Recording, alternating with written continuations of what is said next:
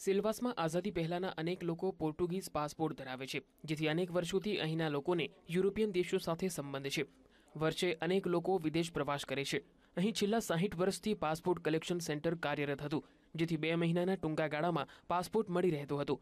જોકે આ સેન્ટર અચાનક બંધ કરી દેવાયું છે, જેથી પાસપોર્ટ માટે લોકોને અત્યારે મુંબઈ સુધી લાંબા થવું પડે છે.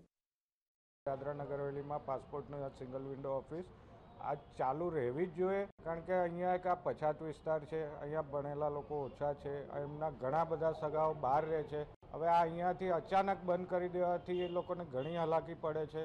આજે બોમ્બે સુધી ઘણી નાની નાની વાત માટે એપ્લાય કરવા માટે પછી પાછો એમાં કંઈ ક્વેરી હોય તો પાછી કેટલીક વાર માણસ દોડે.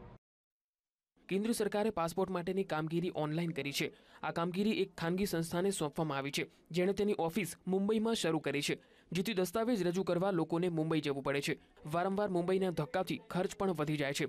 વળી નવી સિસ્ટમથી જેમની પોલીસ ઇન્કવાયરી પતી ગઈ છે, તેમને પણ નવેસરથી અરજી કરવાની સ્થિતિ આવી છે. આથી અરજદારોને અંતિમ ક્ષણે પાસપોર્ટ માટે હાલાકી ભોગવવી પડે છે.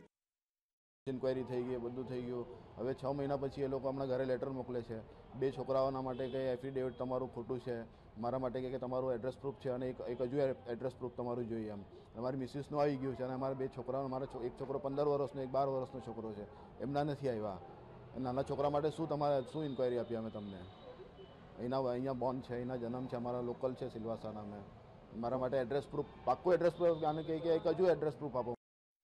પાસપોર્ટ બનાવતી વખતે પોલીસ ઇન્કવાયરી અતિ મહત્વની કામગીરી છે અન્ય રાજ્યોની પોલીસ ઓનલાઈન ઇન્કવાયરી રિપોર્ટ કરે છે જ્યારે સેલવાસા પોલીસ મેન્યુઅલી રિપોર્ટ કરે છે જેથી લાંબો સમય નીકળી જાય છે ऑनलाइन का भी ये सिस्टम है तो ज़्यादा एक ही बार जाना पड़ेगा ऑनलाइन आपने कर दिया सारा आपने तसल्ली से फॉर्म भर दिया और उसके बाद में जो है डेट उनसे ले करके आप कभी भी जा सकते हैं और एक बार तो जाना ही पड़ेगा दिक्कत है दूर है लेकिन सिस्टम सिस्टम तो स्ट्रीमलाइन हुआ है बाकी जल्दी बनेगा उनका फॉर्म जैसा बताया गया है अ, पासपोर्ट जल्दी बन जाएगा और हरासमेंट कम होगा अ, दूसरे रीजन्स भी यहाँ पर आते थे जिसकी वजह से लोग कहते थे कि हरासमेंट होता है डिले होता है पुलिस वेरिफिकेशन नहीं करती है तो वो सब चीज़ें अ, इसमें स्ट्रीमलाइन होगी સાહીઠ વર્ષ જૂની સુવિધા બંધ કરાતા લોકોને મુશ્કેલી પડી રહી છે ત્યારે બંને સંઘ પ્રદેશ માટે નવું પાસપોર્ટ કલેક્શન શરૂ થાય તેવી માંગ ઉઠી છે જો કે કલેક્ટરે આ અંગે કેન્દ્રને રજૂઆત કરવાની બાંહેધરી આપી છે માનવ ઠાકુર વીટીવી સિલવાસ.